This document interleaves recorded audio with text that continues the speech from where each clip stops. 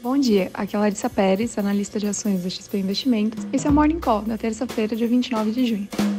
O Ibovespa fechou praticamente estável na segunda-feira, registrando leve alta de 0,14% aos 127.429 pontos, com os investidores ainda digerindo notícias que impactaram o mercado no fim da semana passada, principalmente o avanço global da variante Delta do coronavírus e o envio da reforma tributária pelo governo ao Congresso, com a proposta de taxação dos dividendos em 20%. Ontem, as taxas futuras de juros fecharam o dia em queda ao longo de toda a curva. Como principais motores do movimento, pode-se citar o câmbio, a dissipação do mau humor em relação à reforma tributária e a queda nas taxas das treasuries norte-americanas. Hoje, as bolsas internacionais amanhecem levemente positivas, após o índice futuro americano apresentar volatilidade, representando cautela dos investidores devido à variante delta do coronavírus, que avança na Europa. Tal movimentação sucede à máxima histórica do S&P na segunda-feira, enquanto os investidores aguardam dados sobre a confiança do consumidor no país. Ainda no campo internacional, o novo secretário de Saúde britânico confirmou que a data para suspender as restrições de Covid na Inglaterra será 19 de julho, resistindo a pressões para antecipar a medida. Atualmente, 84% da população do país recebeu a primeira dose e 62% estão totalmente vacinados. Já no Brasil, no campo político, depois da apresentação da proposta de reforma tributária sobre a renda na última sexta-feira pelo governo, congressistas iniciaram discussões sobre a proposta. O presidente Arthur Lira mencionou a possibilidade de reduzir a alíquota sobre dividendos de 20% para 15%, e o noticiário registra críticas à taxação dos fundos imobiliários. Ainda não há calendário definido para a tramitação da proposta, mas os próximos passos incluem consultas entre os deputados e aos setores envolvidos para a produção do relatório. Outro ponto importante no noticiário é a CPI da pandemia, que segue com foco nas negociações para a compra da Covaxin e pode deliberar hoje sobre a convocação do líder do governo na Câmara, que é o deputado Ricardo Barros, potencialmente ampliando o clima de tensionamento no Congresso. No Brasil, no campo econômico, o ministro de Minas e Energia, Bento Albuquerque, alertou a população sobre a crise energética e o governo divulgou uma medida provisória que permite remanejamento na contratação da energia elétrica, além de criar uma Câmara excepcional para medidas urgentes